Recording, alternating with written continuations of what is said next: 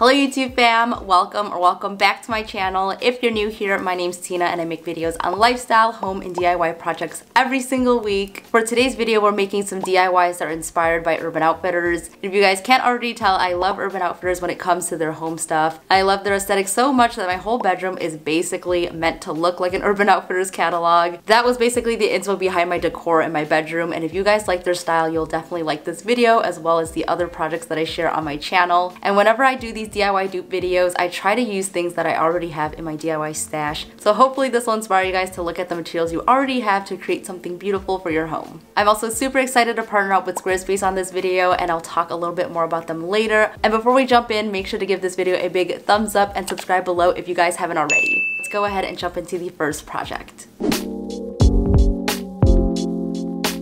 Hello from VoiceOver Tina. So jumping into this first project, I'm using a 5 inch round mirror because that's what I have on hand, but you could definitely make this project with any size you'd like. Then I'm going to create a template for the frame that we're going to make. So I first traced out the circle and then I marked off the bottom where I thought I could get away with covering enough of the mirror so that it looked like an arch mirror. If you have a mirror or glass cutter, you may be able to cut it down more, but I'm just working with the materials I already have. So if you have maybe a rectangular mirror, this technique can also work to cover it to make it look like an arch, as long as you make the frame large enough to cover that outside edge. I noticed from the inspiration piece that the arch actually goes outwards instead of straight up and down, but I'm just gonna go along with the curves and make it straight. But I will say that this DIY is just inspired by the original and not an exact replica. You could also create this digitally, which honestly might give you more accurate measurements, but I'm such a hands-on type of person that I like working with my pencil and ruler to figure it all out. So I'm making sure that the frame is just under an inch all the way around. And as I traced the outer portion, I just made sure that the edges matched as closely as possible. And this definitely does not have to be perfect. It took me some trial and error, a bit of math, and some help from other round objects that I had around the house. But I think in the end, the guide looks pretty good. I went ahead and scanned my template and I printed it out a couple of times so that I would have extras to use. To make sure that it would work, I actually cut out the middle of the frame just to put it on top and I'm happy to report that this template totally works. I will have it linked down below if you guys would like to use it for your projects as well. Alright, so it's time to make the frame and I'm using polymer clay here. So first I'm just going to roll out a large slab and I put three popsicle sticks on both sides just to make sure that it was even.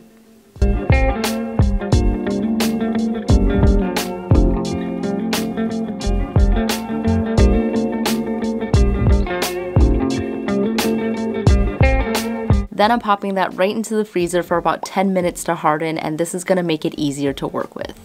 Now I'm taking the template and I'm going to trace that onto the clay so I'm just going to flip it over and then color along the lines with a pencil. Then I'm to flip it over again and place it right on top and then we're just to trace along the lines of the template to transfer it onto the clay. And once we lift that up, we'll be left behind with a carbon copy of it. So now comes the fun part, I'm to go ahead and take some colored polymer clay and we're to create some custom colors here. I wanted to create a very earthy color palette, so I'm taking some inspo from the original, but I'm definitely to make this my own. And the best way to custom mix colors is just to roll it around and pull it apart and just continue rolling it together until it creates one cohesive color throughout. And whenever I'm making colors, sometimes you just need to mix in a little bit of white or a little bit of black to create a lighter or darker color, or you can mix up two colors to create a brand new custom color. There are definitely tons of colors that you can make with just a few basic colors. And I know the original is actually made with ceramic or glass pieces to create a mosaic look, but I definitely was feeling the terrazzo look more, so that's what I'm going with. Also, I don't know if I'm exactly saying that word right. I hear it being pronounced so many different ways like terrazzo or terrazzo, so I don't know which one is correct, so please excuse me on that. As I'm creating these colors, I'm basically rolling them into little logs and then I'm just gonna cut each one of them into slices. And from there I cut them even more to make these imperfect organic looking shapes. Then I'm just placing it one color at a time randomly onto the frame part of that clay. And by placing it color by color, this is gonna help you balance out how the color is dispersed on the frame. And I absolutely love how all these colors are looking together.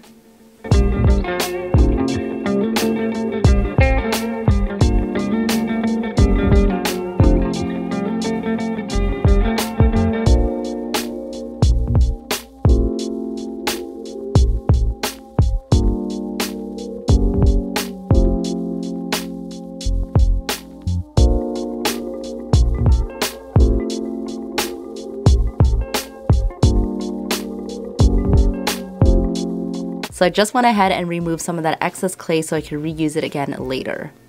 To mesh in the colors with the base layer of the clay, I'm gonna go ahead and roll it over a couple of times. And I think that this step is really what makes the terrazzo come all together.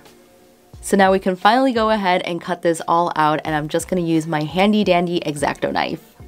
And whenever I'm cutting out clay, I always like to remind myself to make slicing motions rather than chopping motions and this is just gonna give us a much cleaner line. I also find that using a ruler helps out a lot and when it comes to the curves, I do it in small sections at a time to make sure that I'm getting it as close as possible to the template. To smooth things out a little bit more, I'm using some rubbing alcohol on some of those rougher edges. I like to use my fingers for this part and doing this extra step is going to help you save from doing a lot of sanding later and I also think it gives it such a nice finish. Now our frame is ready for the oven and I'm baking it for about 20 minutes at 275 degrees Fahrenheit. And once that's cooled down, I'm just gonna sand off any of the edges that need to be a little bit smoother. And for polymer clay, you always wanna use 400 grit or higher. I just find that using a finer sandpaper is just gonna be a lot better for it. And now to seal in our beautiful design, I'm using a water-based polyurethane in a glossy finish. This is gonna help protect our frame and I like to use a foam brush to seal it and give it two even coats. And now we're at the finish line. I'm gonna go ahead and glue this onto our frame. I'm using E6000 glue for a very strong hold and you wanna let this sit overnight to cure completely. And you guys, how freaking cute is this piece? I absolutely love the colors that we chose for the terrazzo or terrazzo. and I'm really glad that I got to take inspo from the original piece to really make it my own. And even if you don't end up recreating this exact project, I hope that you found the tips for this DIY super helpful for future projects because you can truly make anything with this technique. Before moving on to the next project, I wanted to talk about today's video sponsor, Squarespace. If you've been watching my channel for a while, you're probably already familiar with Squarespace, but if you're not, they have everything you need to build a website as well as grow online. And one of the best things about Squarespace is that they are super user-friendly. I remember back in college, I actually made a website for my parents' business and it was very easy to navigate. They really just have all the tools that you need to get your small business off of the ground. And I also really love that all their websites are mobile optimized. I actually used to work at a marketing agency, so working with clients one of the biggest frustrations was just not having a mobile friendly site. And personally for me building my website, that was also something that was very important to me because everyone is always on their phones. You guys are probably watching this on your phone, so when I direct you guys to my website, I definitely want it to be mobile friendly. And really anyone can use Squarespace, so you can have a personal portfolio on there, or if you're a small business owner, you can create a beautiful website with their e-commerce templates, marketing analytics, and email campaigns to reach your customers and supporters all around the world. Squarespace also has so many free resources that you guys can use to succeed online. And I always like to plug their blogs and free guides because there's so much great info on there. So if you guys have been thinking about making a website, now is definitely the time to do it. I will have my link down below so that you guys can get a free trial as well as 10% off of your first domain or website. So be sure to check them out and let's go ahead and jump into the next project.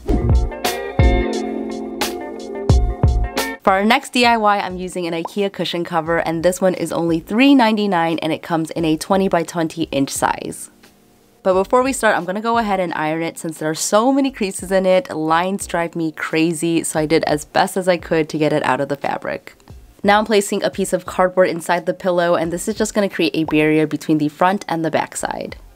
For this Urban Outfitters inspired design, we're gonna go ahead and create a face, so I wanted to try my best to keep it symmetrical with the eyes, so I just marked the center with a piece of tape.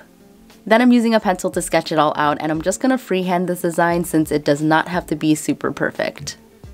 Alternatively, you can totally print out the design and put that underneath and use that as a guide to trace. Since there are a lot of curves in this design, I'm gonna go ahead and just place my hand where the center of the curve is, and then I'm moving just my wrist while holding my hand down onto the table. No matter what you're drawing for a project, this is definitely one of the best ways to keep your hand steady. I'm following the design as closely as possible, and I think I did a pretty good job at it. So next, I'm just gonna go ahead and trace the sketch with a black permanent marker. This is totally optional because you can work off of the pencil sketch, but I just wanted to make sure that I was getting the placement right for everything. Now I'm gonna go ahead and use a giant embroidery hoop and this luckily fits the whole design onto it, but if you don't have a large one, you can also use a smaller one and just move it around as you work on it. Alright guys, so now it is time to make our design come to life with some embroidery. I'm using a black yarn with a yarn needle and I'm gonna go ahead and just cut it to about a foot and a half just to minimize the back and forth pulling that we're gonna have to do with each stitch. For this entire design, I'm basically doing a back stitch, So I'm just starting from underneath and moving one stitch over and each one of these stitches can be a bit on the larger side. So after our initial stitch, I'm coming in from underneath again and just moving one stitch over and then I'm to pull that back into that first stitch that we created and this is going to be our back stitch. And that's all there is to this stitch and I'm just to repeat this across the whole entire design.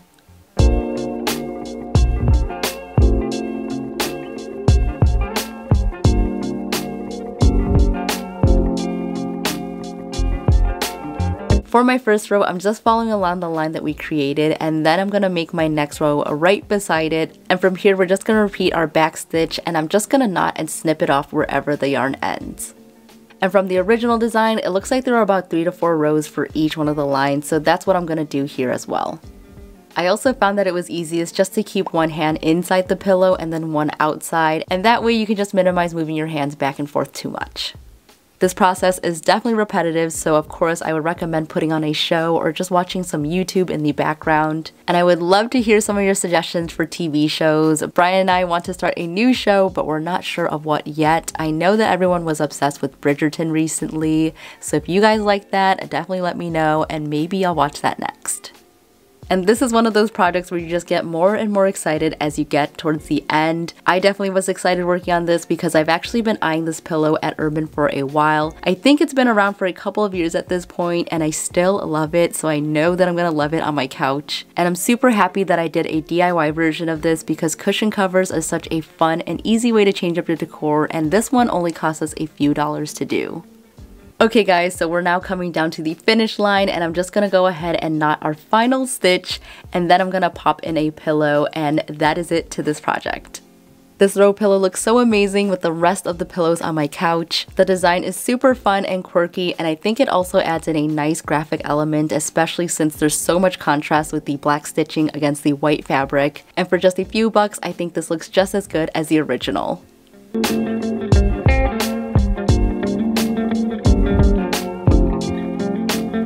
Alright guys, so those were all the projects from today's video. As always, I would love to know which one was your favorite. If you would like to see more DIY dupes from another store, definitely let me know in the comments below. I would love to hear some of your suggestions as well. And huge thank you to Squarespace for sponsoring today's video. Make sure to check out the link in my description box to try them out and get 10% off of your first website or domain. And as always, if you guys recreate any of the projects from today's video, make sure that you tag me on Instagram. I post on there every single day and I will also share some of your projects on the screen here. I especially wanted to highlight this DIY because it is a wedding DIY and if you guys have been watching me since then, you guys are seriously so amazing. Wedding DIYs definitely helped my channel grow and I cannot believe we are getting close to 100k. Thank you all so much for watching and thank you guys so much for supporting my channel every single week. That is it for me today. Stay inspired and I'll see you in the next one.